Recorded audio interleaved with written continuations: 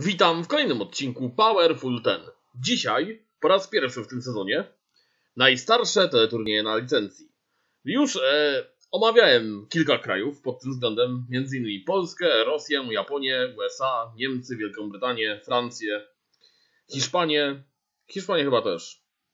Chociaż nie jestem pewien. W każdym razie, dzisiaj najstarsze włoskie, tym razem teleturnieje na licencji. E, jeśli chodzi o e, najstarsze teleturnieje włoskie na licencji, to pod tym względem, moim osobistym zdaniem, Italia ma jedną z dłuższych e, historii w Europie. Takie kraje jak na przykład Niemcy, Włochy, właśnie dzisiaj omawiane, czy też Wielka Brytania, no to właśnie cyną z tego, że już od lat 50. różnorakie formaty ściągały najczęściej ze Stanów Zjednoczonych.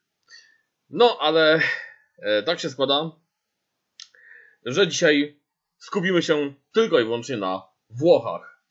E, no i tak, w kwestii e, technicznych. Tak. Są dwa miejsca egzekwo. Na jednym mamy dwa teleturnieje, na drugim trzy. E, pozostałe miejsca są pojedyncze. Decydowała oczywiście data premiery. Im teleturniej zadebiutował e, wcześniej, tym był na liście wyżej.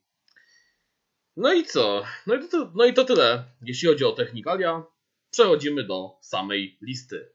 Najstarsze włoskie teleturnieje na licencji. Ognia. Miejsce dziesiąte. Dziewięciu wspaniałych, czyli Il Gioco dei Nove. Data premiery rok 1988. Oczywiście włoska wersja Hollywood Squares. Miejsce dziewiąte. Egzekwo, Koło Fortuny i Nowożeńcy, czyli La Ruota della Fortuna, włoska wersja Wheel of Fortune oraz włoska wersja The New, New Led Game. E, obydwa te teleturnieje zadebiutowały w roku 1987. Miejsce ósme. Aż trzy teleturnieje egzekwo. Doppio Slalom, czyli włoska wersja Blackbusters. E, Gioco delle Coppie, czyli włoska wersja Randki w ciemno, The Dating Game oraz Facciamo Sum Affare, Facciamo Um Affare, czyli włoska wersja Let's Make a Deal, czyli Idź na całość. Wszystkie te trzy teleturnieje zadebiutowały w roku 1900 85. Miejsce siódme. Familiada, czyli Tutti in Familia. Zresztą to jest jedna z trzech, pierwsza z trzech włoskich wersji e, Familiady.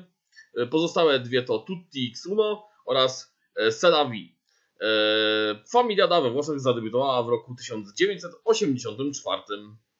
Miejsce szóste. Dobra cena. The Price is Right. Ok, il prezzo è giusto. Data premiery rok 1983. Miejsce piąte. BIS, czyli włoska wersja Concentration. Data premiery rok 1981. Miejsce czwarte. Wabank, Rischiatutto, Geopardy. Włoska wersja Geopardy, data premiery rok 1970. I wchodzimy na podium. Miejsce trzecie, brązowy medal.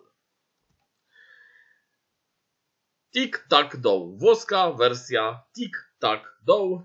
E, we Włoszech to się nazywało Teletris. Data premiery rok 1962. Miejsce drugie. Srebrny medal. Jaka to melodia? Czyli włoska wersja Name That Tune. Pierwsza Yy, zadebiutowała w roku 1957 i nazywała się Il Musichiere, czyli muzycy. Sara Banda była dopiero 40 lat później. I miejsce pierwsze, złoty medal. Najstarszy włoski teleturniej na licencji to Laszcia e Radoppia. Laszcia Radoppia, czyli włoska wersja The $64,000 Question. Również można powiedzieć, że to jest włoska wersja wielkiej gry.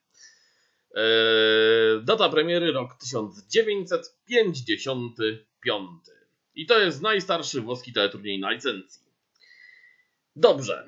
To wszystko na dzisiaj. Mam nadzieję, że lista Wam się podobała. Do zobaczenia w kolejnym odcinku Powerful Ten. Cześć!